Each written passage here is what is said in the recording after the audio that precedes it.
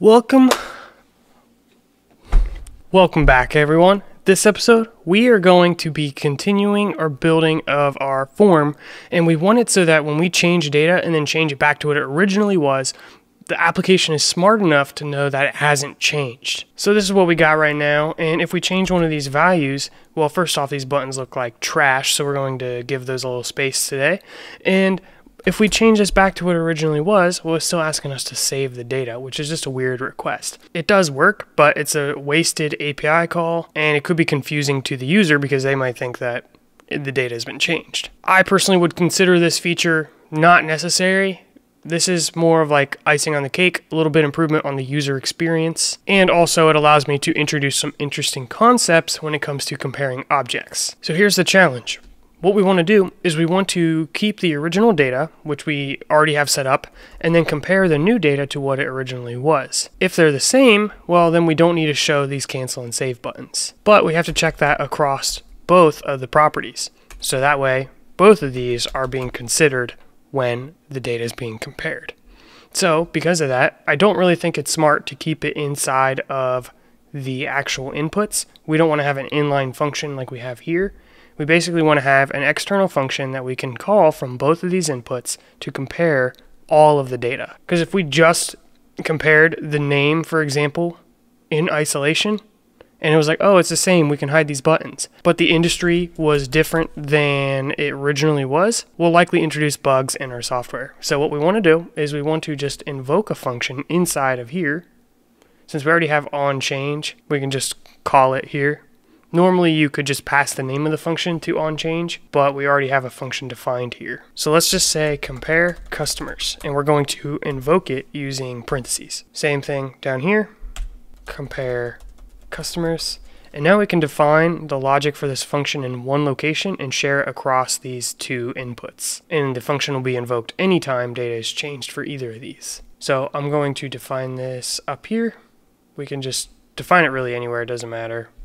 I don't know. Here looks great. So we'll say function compare customers. And inside of here, we basically want to decide if these two customers are equal. What two customers am I talking about? Well, specifically the original data customer, which is called customer, and then the temporary data customer. These are objects, but it's not as easy as just comparing them as customer being equal to temp customer. Unfortunately, that's not the case because when you do this, you're checking for equality of identity. Are these the same exact object in memory? And they're not.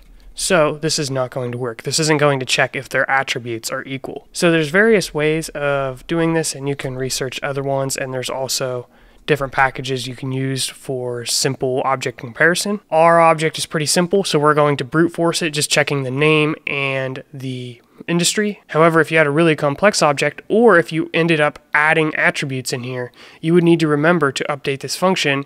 So you kind of have some balance you have to think about here. Do you want to go find a more complex way of comparing object attributes, possibly using external libraries?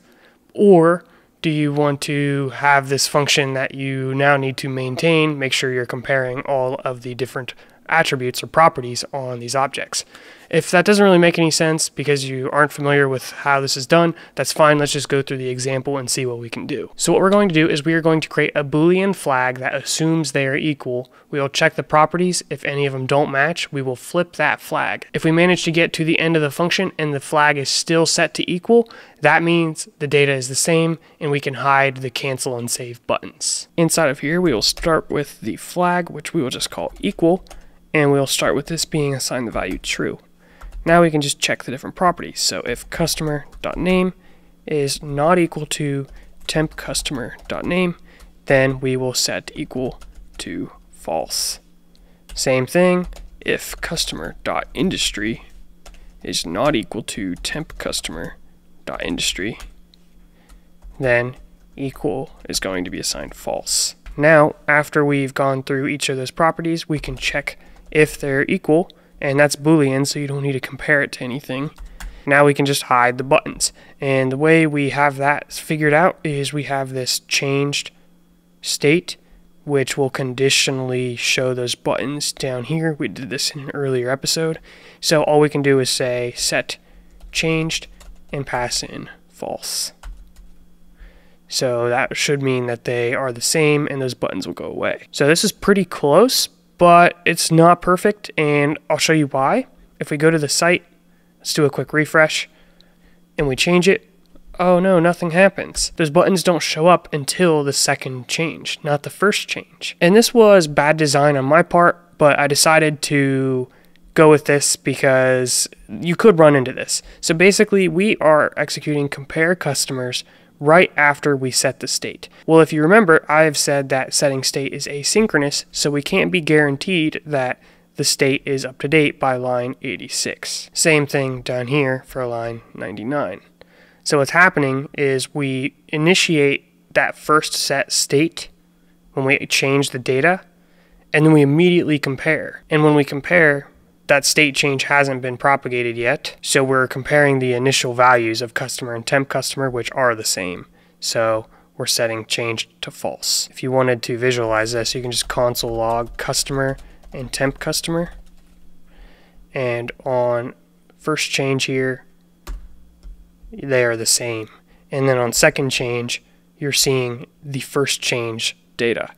So, what is the solution to this? The way we have it set up is kind of a logical way of setting it up, and that was my first idea. But whenever you have some function that is dependent on state being the most up to date, that is when you want to use use effect. And you can make it depend on just the state that you're interested in watching. So use effect is guaranteed to execute after the state has been updated. So what we'll do is we'll just take this function we've created and move it into a use effect function. We already have this basic one we used earlier just to keep track of all of our state. So what I'll do is I'll just replace all of this. I'll take all of this inside of our function, cut it, and take it up and put it inside of our use effect. Now what we can do is we can remove this function and remove the call to that function. And the use effect is going to execute automatically. So we're getting closer. We got one more problem I'll show you. If we do a refresh, uncaught type error cannot read properties of undefined. So the problem is it's not getting the initial values of customer because it's also coming from a use effect. So one simple fix for this is to just say if not customer return. Same thing for the next one. If not customer, return. Now, in theory, that initial load is going to be skipped and it won't execute again until we have a state change. So we can say Sony, the buttons pop up, we change it back, and the buttons go away. Seems to be working. Perfect. And you can, of course, get rid of these console logs once you're confident in the functionality. So we will go get rid of those. And you may notice if you're not familiar, we have a single line if here. Whenever you have just one statement in an if, you don't have to put it inside of its own curly braces. So you can just put it on the same line like this here. So this is going to make our function a lot cleaner. There we go. We can just kind of break this up into different sections.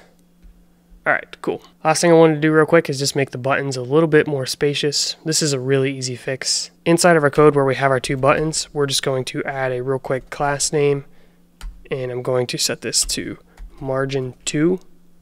Same for this one. So class name is margin 2. Now, whenever we get those buttons, they're just a little bit more spaced out and it's a little cleaner. That's all I got in this episode. Hopefully this was fun, just kind of looking at some different options. I think this is one of the episodes where I could have planned it out and just showed you the exact code to use, but I decided let's just build this up from the beginning, what you might run into, and just show you how I thought through that. So hopefully that was helpful and wasn't too confusing kind of jumping around the way we did. Please stay tuned for the next episode. We're going to continue building on this application. Peace out.